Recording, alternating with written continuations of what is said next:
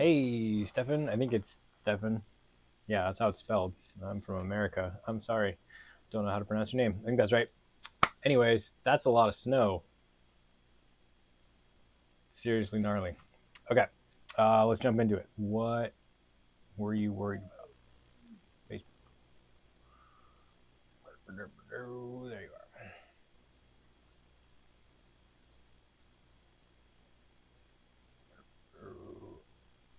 Okay, you think there's a lot of fix. Biggest issues are not using momentum from the brace. Interesting. And your disc is not traveling in a straight line. Accurate. You can fix that. At least make you aware of why it's happening. Um, yeah, so dip, flare and dip in the disc. And the left side of your body is just an anchor. Yeah, cool. Good observation. Um, I would agree. So let's take a look at it. Um, thank you for putting stuff on YouTube. That is awesome. For some reason, the second one uploaded as a short, which is less awesome, but that's not your fault. That's just YouTube being dumb. So nice, nice controlled short X step. I really like that. But I don't really like this. so look at your your point of ground contact and then like if I exaggerate and go to the point of your hip, that line is tipping forward a lot. But if I'm nice and go to your center of gravity, that line is still tipping forward too much, right? This way. And like you do have to tip forward, but I'm I'm reasonably certain that your hips are getting too far ahead So we're just starting with the lower body first. We'll look at the arm later. So I, I like your foot placement for the most part. This this this angle is probably fine. I usually tell people to be closer to to 90.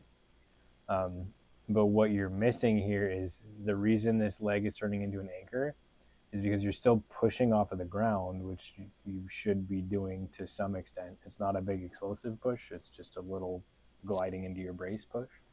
But this, the leg is straight and it actually needs to be tipped in.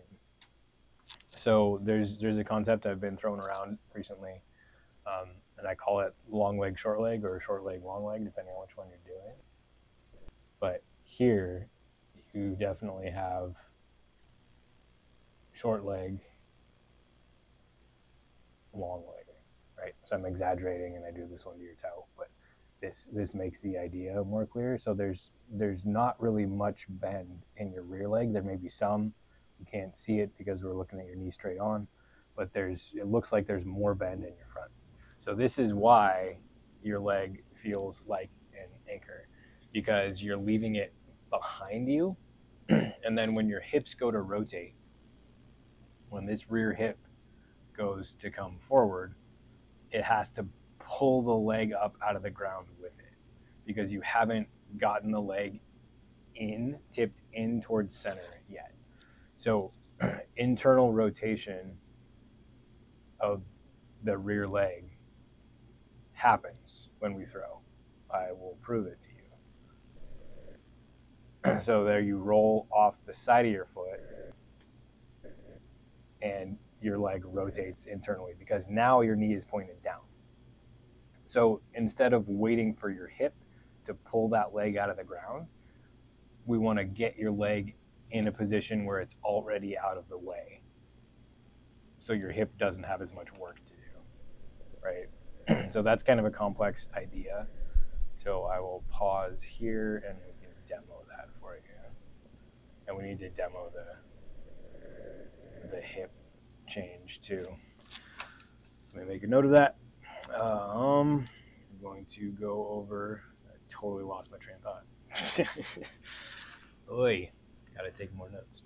Um, so hip drift, we're gonna do, and the other thing was something I'll remember if I watch it again. Hopefully. Yeah, rear leg anchor. Got it.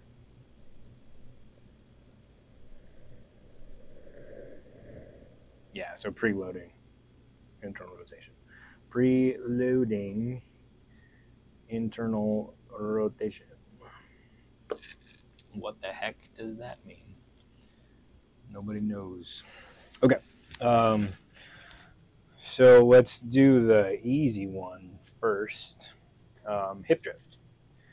So you're, I really like your X step. That's not something I get to say very often because most people are like, "Oh, X step, cool. I know how to X step." No, you're not doing that. That's awesome. You're keeping it nice and small. You're keeping your foot relatively neutral. You're not turning a ton. Um, when you take a small X step, there's no reason for your X step to turn toes backwards. So that's groovy. Small X. Um, but w- what you're doing is you're leaving this foot here as you start to shift your weight. And then you end up like here, where you've shifted your center of gravity forward. And then this leg getting into position is late, and you end up short leg, long leg. So at this point, this is anchored, it's stuck. It can't really internally rotate and get out of the way like it needs to. So when my hip goes to come around, my leg has to do a, a scoop, which looks like the same scoop that all the pros do, but it's it's the timing is backwards. So the way you do it, your hip is moving forward, and when your hip moves forward, you at some point you max out and you have to internally rotate. So internal rotation, external rotation. So I can't thrust my hip forward without internally rotating. So this has to happen. The knee has to come in so that there's room for the glute to fire and extend the hip. Not that the glute really has to fire a lot, but but there needs to be room. The weight of the leg needs to be tucked in and out of the way so that when the brace leg fires and pushes the front hip backwards, there's room for this joint to come forwards, right? Because this one's going back, this one's going forward. So what you do is you kind of get too far here open, and then this rotation can't happen quickly. So what we want is um, the back hip to do its job, which is very simple. It's not a big, explosive, powerful movement. It's just driving you into your brace. Linear, no rotation. The knee dips in just to make space for the femur and the hip to rotate. Um, then the front leg opposes that, but not directly. It's offset so that what you get is your rear hip is pushing, your front hip is pushing backwards. So if the rear hip goes, the ball spins a little bit, right? If the rear hip goes and the front hip limits and pulls back, then you get a ton of spin, right? That's what we're going for.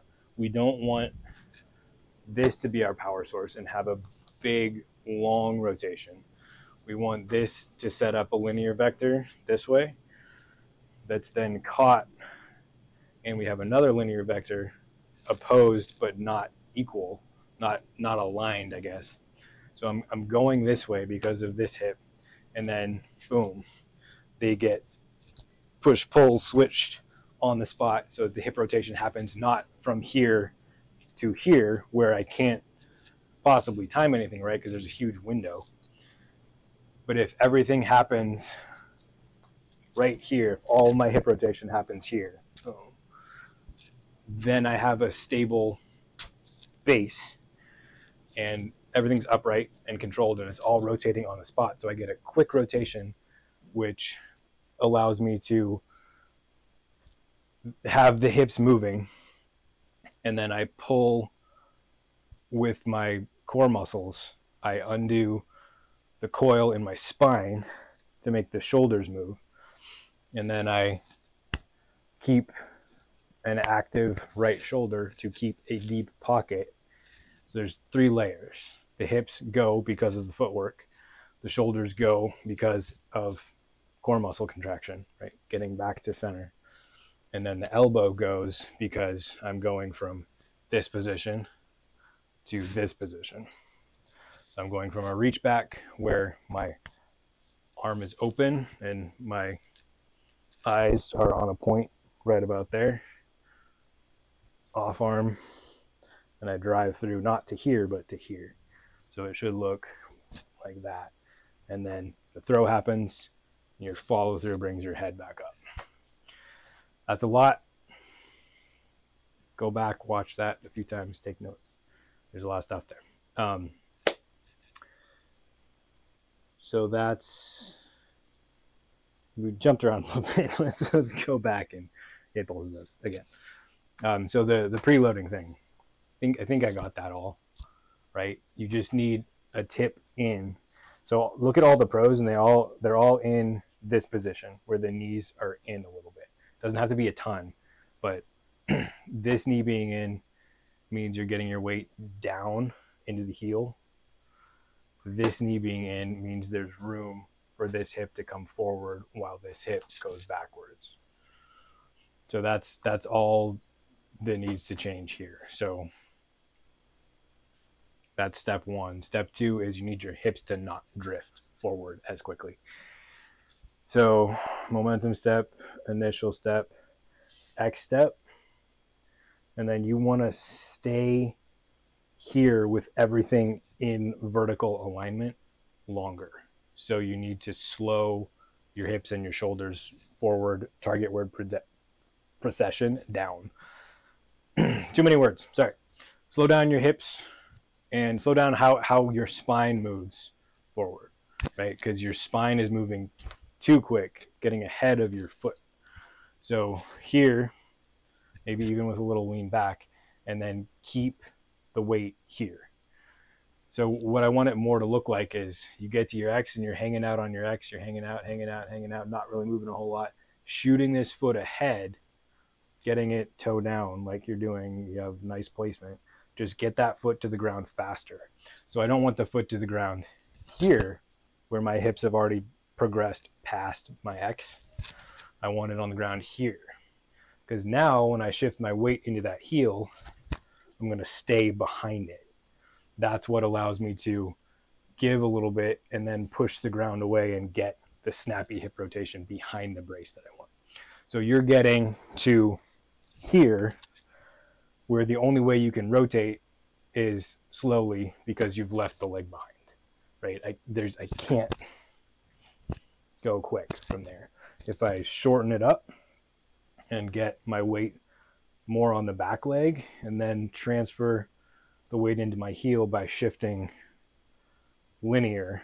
I have a bad habit when I'm demoing this of turning my hips as I go, and that's not what you want because that's kind of a squish the bug thing where I am driving with this.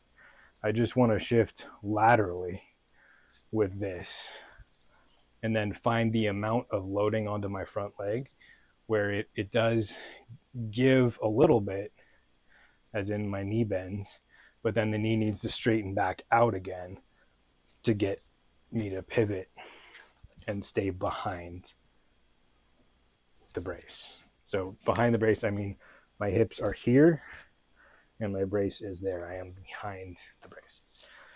Um, so don't let your hips drift forward as much and make sure you are preloading the internal rotation of your rear leg so that it's not anchored. And again, another way to think about that is I want short leg long leg, not long leg, long leg, short leg. Kind of confusing. So get lower into your X step, right? Here, come down more and stay with the weight here. Then, then when you do shift, you're still going to shift explosively, but you're going to keep your weight back. Your pressure is still going to go there. I'm still putting all of my force into the ground here because this foot jumps up for a second.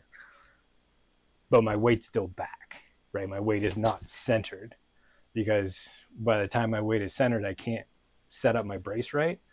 And I'm going to end up here where my hips get too far on top of my brace and my shoulders get way too far past my brace. Okay, back to you. Make sure that all makes sense.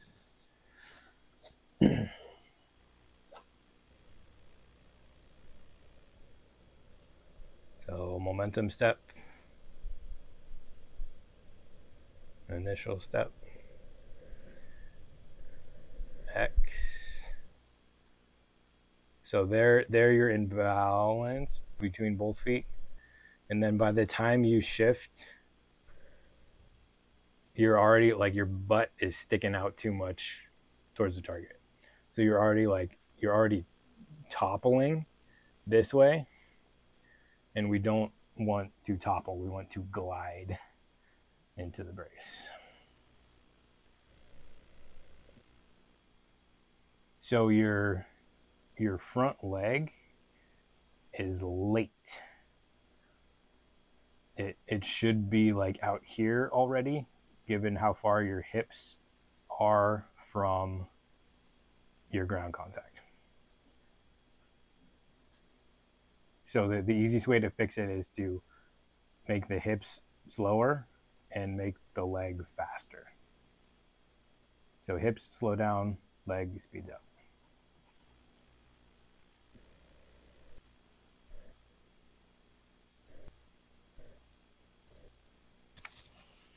Yeah, because so those frames there, you're just tipping. So look where you've set up. And then when you actually get braced, you're on a totally different line. So so you you you can't have swing plane integrity because you're changing the angle that your body is on going into your brace. So you really want everything to stay vertical. So here's your spine at the X step. Here's your spine halfway to your plant. And here's your spine on the plant. Like you want to stay vertical. Let's see what you do. Like your spine looks good. I think it's just that the so a little lean back, that's okay. Then you're pretty upright. You're just letting the hips get too far ahead. Yeah. Okay, so that's lower body. Um, let me check my notes. Um, your elbow orientation and flare is the next thing we're going to look at. Long leg, short leg, hip drift. Got it. Um, so another another way to look at this linguistically is it looks like you're falling off of your X step. So here's your X and then like there it looks you're gonna fall this way right? Because your your foot isn't out there yet. So your foot should be out making this long side of the triangle. Long side of the triangle. Uh, slightly exaggerated but but hopefully you get the point right? You want to keep this one short and that one long. Um, and that's about all I had. One other thing. Yeah, so let's look at your shoulders too.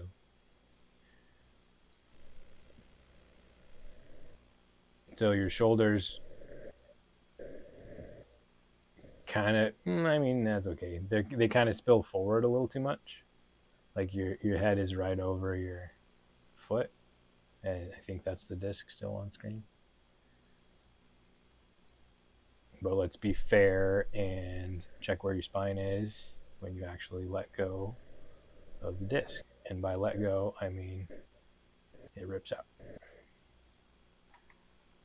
So this is why YouTube is cool because I can go frame by frame really easily and see where you actually are about. Yeah, so your head your head is too far forward. You really want your head to be um, you want your leg angle to be more like maybe that and your hips are here and you want your head to be like there. You want your head like like over your knee basically. So you're you're too far forward um, which means you're losing potential power in your rotation because your shoulders are tipping forward. So back to the back to the tipping thing again right? Because so you started relatively vertical with a, little bit of a lean back, which is actually good. And then you're vertical when you come through center, and then then you're too far tipped this way. So you have you have too much of this, which, you know, if you put a flat plane at any one of those points, it's it's not consistent. So this is, is going to make it hard for you to control height, which is going to make everything hard, right? So part of part of why footwork is so important is it, it sets up a consistent swing plane that's not got scoops and dips and flares and all sorts of stuff because that's that's what inconsistency comes from. Okay, so that's the lower body, deeper level mechanical stuff. Now let's look at the arm issue. So the arm issue is relatively simple to understand and very difficult to fix because the fix is putting your body in a very awkward position. Um, and then the even more annoying part than that is once you learn how to throw that way on a flat swing plane, you're then going to learn a more advanced maneuver and stop doing that. Um, but let's let's just get step one for now. If you don't trust me, let me know, and I'm happy to explain the whole process to you. It's I feel like I went over it in a video recently. I'll see if I can find that for you. so your elbow right here is, and and you're not you're not very far off base with this, but see how your elbow is lifting up to its final reach back position here. your elbow is down to start and it lifts up. Then when your elbow bends again, the disc, the elbow goes down and the disc goes up. That's just a function of where you have put your elbow in space. So the elbow is going to go down and that's going to make the disc go up because they're connected by this grouping of bones. So then that momentum from the up continues to make the disc flare up more. And then you kind of start fixing it. This is complicated by the shoulder poking out and your tipping thing. But you get it back to flat. So, like, you probably have a pretty functional throw. Looks like you know what you're doing. But you're losing efficiency and consistency because of the elbow orientation. Um, so let's flip back to demo mode. We'll grab a circle. Show up well enough? No, it doesn't. There's a reason I always grab the bright green one. Um, okay. So, uh, look look at the video I did recently, somewhat recently, um, how to fix a common rounding mistake. I go over this in detail, but basically because your reach back, your elbow comes up. That means when you bend, your elbow is going to come down. So when there's there's no way here for me to make bending my elbow make sense, given that I'm going to be rotating. I, I, I can't throw a disc like that, right? You're on maybe like maybe this angle, so it's it, it kind of makes sense but when you drive your elbow forward, you're driving it down, which makes sense because that's a powerful muscle group, right? Our body wants to do that. But just because it's strong for the muscle doesn't mean it's strong for physics. So, what physics wants is physics wants your elbow here, where when you bend your elbow, the disc doesn't go up, the disc just comes in to your right pec. So it's it's a matter of this versus this. So this is external rotation and this is internal rotation. So you need more internal rotation in your shoulder, in your upper arm. Um, your hand and wrist can do other things, but the elbow orientation is still the same. With my palm down, my hand still comes into the chest. My palm up, and still comes into the chest. This this one is awkward. That's why people suitcase and then fix it at the last instant because it's more comfortable to be here. This is awkward. It puts a lot more tension in your elbow. Um, so people don't like to do it. But all you need is this plane to be consistent. So there's lots of drills about this. Box drill is about this. Trebuchet drill is about this.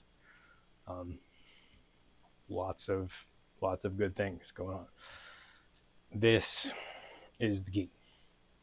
Um, I was working. I wasn't even working with a guy. I was just talking with him, and uh, he was he was struggling to get any snap on his throws. Uh, he had a flexibility issue in his elbow, so he couldn't do this. So he got an idea. Well, what if I throw upside down? Like, why not, right? so he threw like this and got way better distance because it's easier with your palm down to get your elbow up. Here, it's pretty easy to be on a shoulder plane? Here, now there's all this tension, and it's way easier for my body to say, I'd just rather pull through down here, right? Because that feels strong. So that's the biggest issue, and and you you don't have a bad case of it. Like I see people go like this, right, where they're all the way up, and then they go and like almost hit themselves. Like it's it's your body doing something that it knows is strong instead of understanding that good form happens up here at a basics level. When you get more advanced, you can get into kind of this, where you still have a hyzer tilt, because that's the best way for your hips to work. But you can reach back here and then throw with external rotation, managing your disc angle on your release. So you theoretically you lose some power because you're not on this optimal swing plane, but you are able to harness more power from the hips on a hyzer tilt, so it ends up still being a net gain. That's theory, anyways. Okay, so that's a lot. Let's look at your second video. Um, I had it pulled up. There it is. Okay, so this one, we see a lot of the same things, um, but we see them from a different angle. So your weight shift looks a little funny. Uh, super nice field, by the way. Super cool to have a net. I'm jealous. so looks good, looks good, looks good, looks good. Uh, now, uh-oh. So I can already tell you're committing your weight shift like too far towards your toe side. Not that like your foot placement ends up being bad, but your your head is your shoulder is in the way of your disc, right? You've blocked your disc path forward by leaning forward so far. Um, so, so this is kind of like a form of rounding, I guess. Yeah, totally. So it's it's good that your spine is on a hyzer tilt. Not complaining about that. Um, but the way you're setting up your reach back position and your weight shift are not working um, because you're too you're too far towards the toe side. So I'm going to demo a new reach back position for you and maybe keeping your spine a little more upright. You, that is, that's probably not necessary. You're just shifting too far to your toe side, I think is the problem. Okay, back to me. so reach back position, we're going to change. And um, yeah, we can look at three rails stuff too. Um, so this is three rails is kind of an old model of the throw that I used to think was the way everything worked. It's kind of based off of um, Brian Earhart's footwork.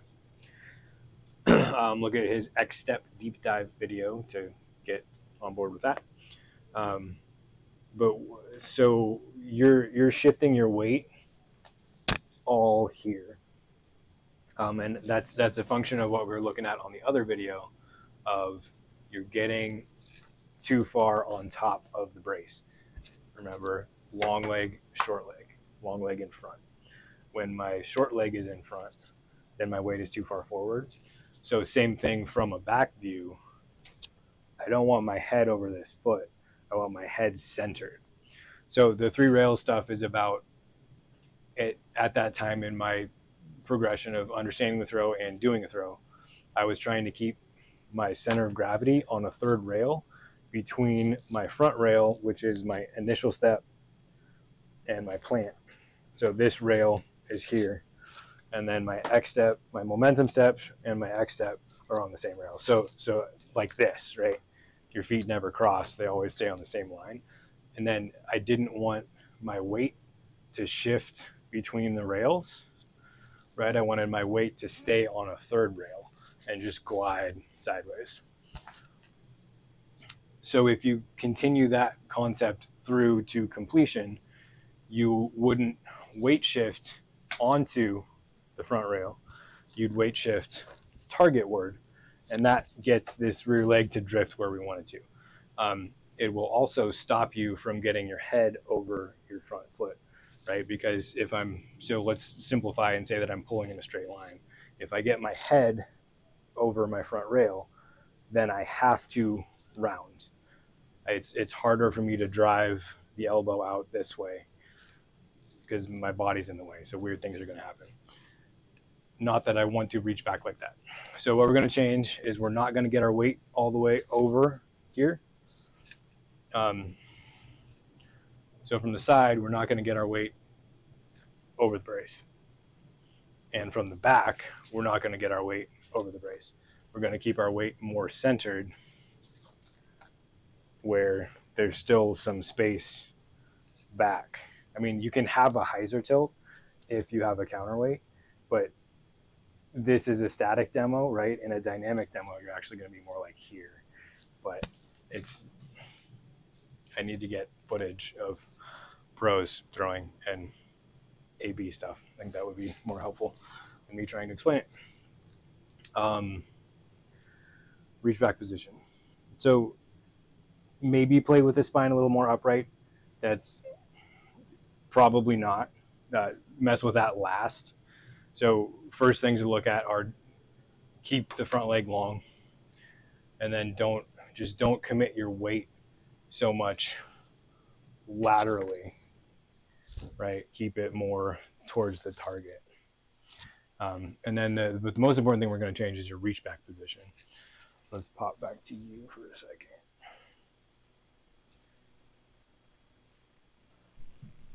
So the thing that's annoying about shorts is I have to play the whole thing. I can't scrub on it. Sometimes there's a way to, but sometimes there isn't.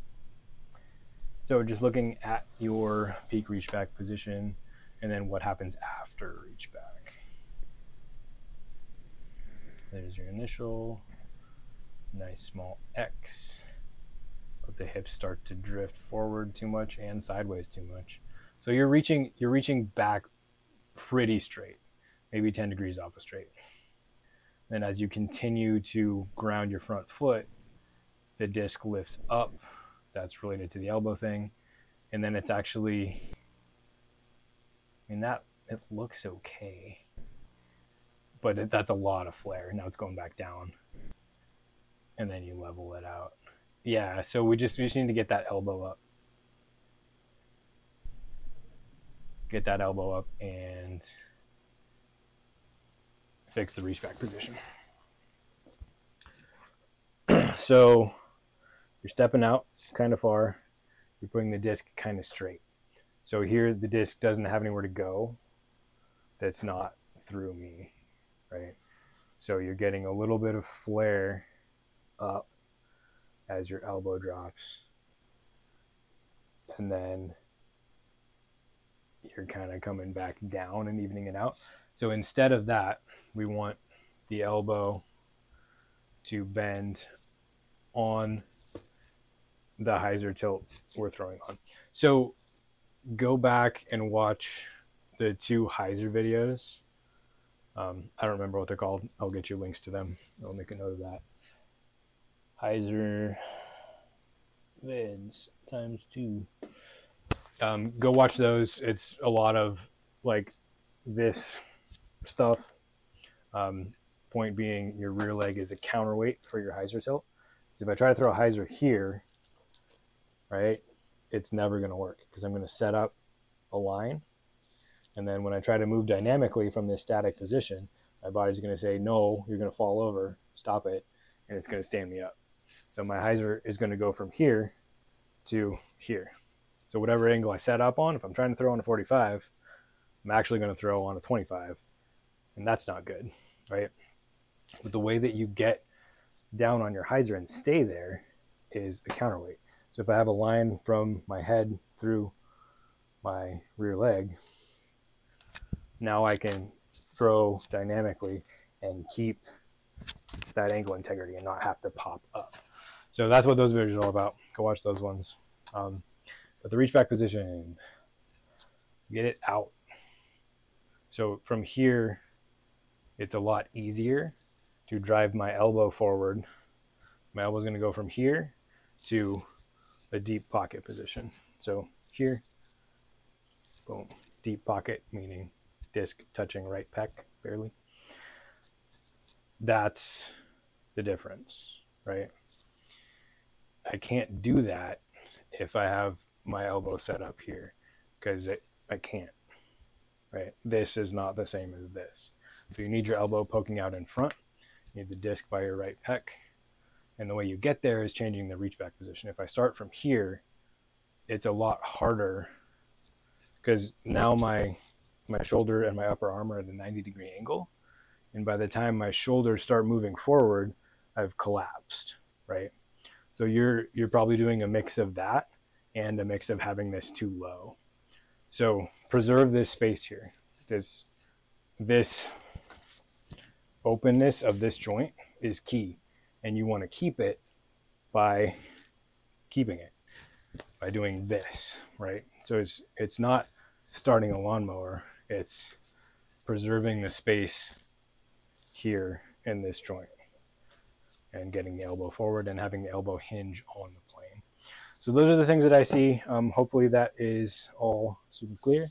If not, please ask questions and I can get back to you with some more details. Uh, thank you very much and good luck, sir.